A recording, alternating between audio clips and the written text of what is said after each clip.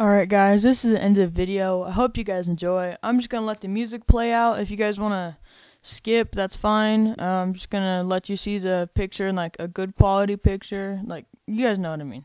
So yeah, uh, hope you guys have a nice day. Peace.